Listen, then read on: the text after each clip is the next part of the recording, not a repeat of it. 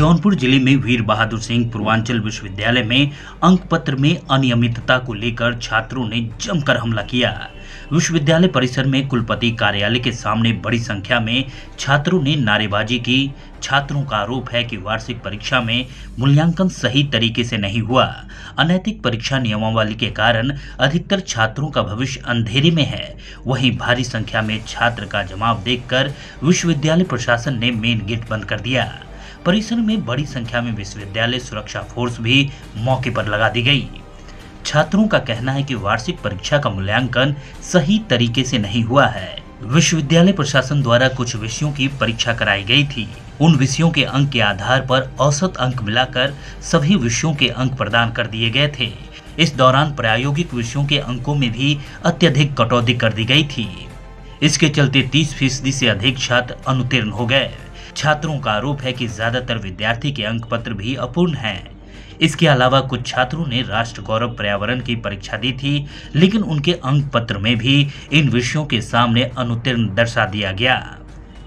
इस मूल्यांकन को लेकर सभी छात्रों में आक्रोश व्याप्त है।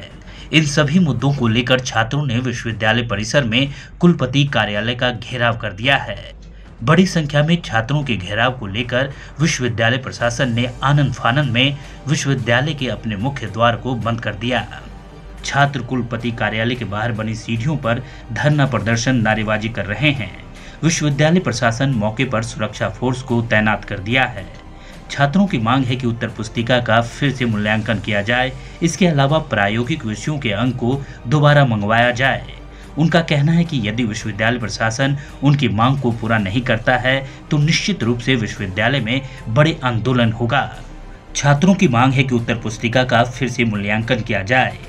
इसके अलावा प्रायोगिक विषयों के अंक को दोबारा मंगवाया जाए। उनका कहना है कि यदि विश्वविद्यालय प्रशासन उनकी मांगों को नहीं पूरा करता है तो निश्चित रूप से विश्वविद्यालय में बड़ा आंदोलन किया जाएगा। इस प्रदर्शन में विवेक सिंह सुधांशु सिंह देवा निखिल सिंह छात्र नेता सुमित सिंह आदि मौजूद थे। स्वागत है हमारे सीएन न्यूज़ में आपका। मैं आपके साथ विकास गिरी। आज जौनपुर वीर बहादुर विश्वविद्यालय में हम उपस्थित हैं और हमारे सामने कई कॉलेज के छात्र प्रदर्शन करते नज़र आ रहे हैं। आइए जानते हैं क्या इनकी है मांग क्या है समस्याएँ। मैं अभिषेक तिवारी छात्र था टी कॉलेज और हम लोग यहाँ पे अपनी मांग लेके आए हुए हैं कुलपति महोदय से मिलना चाहते हैं।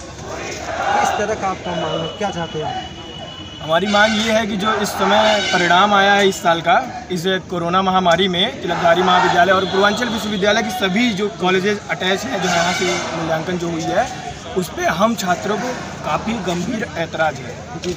बात यह है कि हम लोग को जो एक तो कोरोना महामारी चल रही थी कक्षाएँ सुचारू रूप से चली नहीं है और दूसरी बात यह है जो मूल्यांकन हुआ उसमें 25 परसेंट से ज़्यादा छात्रों को फेल कर दिया गया। और ये सिर्फ़ फाइनल ईयर की बात है। अभी जो परिणाम आया है वो सिर्फ़ फाइनल ईयर का आया है। जैसे बीएससी थर्ड फाइनल ईयर हो गया बीकॉम फाइनल ईयर हो गया। तो इस इस संदर्भ में हम लोग मिलने आए हैं। कहाँ कहाँ के छात्र यहाँ पर आए हैं? यहाँ पे गाजीपुर मऊ और जौनपुर टीडी कॉलेज और यहाँ के काफ़ी छात्र हैं जो विश्वविद्यालय के भी छात्र हैं। तो हम लोग सभी लोग एकजुट होकर यहाँ पे आए हुए हैं। सुबह से आप लोग प्रदर्शन कर रहे हैं। अभी इसका क्या निर्णय निकला?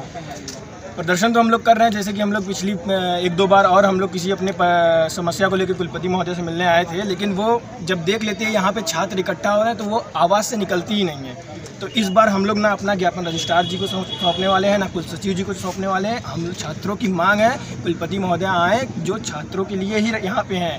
कुलपति विश्वविद्यालय छात्रों से होता है, छात्र से नहीं होता है। तो इसलिए हम चाहते हैं कि वो आए और हमारी बातों को सुने। क्या आपको लगता है कि वो आज आएँगी? हमको लगता है वो आएँगे और हम इस परिणाम को बदलेंगे अगर नहीं आते हैं तो क्या करेंगे आप लोग? तो हम लोग यहाँ पे यहाँ पे हम लोग अपना ज्ञापन सौंपेंगे किसी भी हाल में शाम तक। और इसमें पाँच दिन का हम लोगों ने समय दिया और पाँच दिन के बाद हम लोग क्रमिक बृहद आंदोलन पे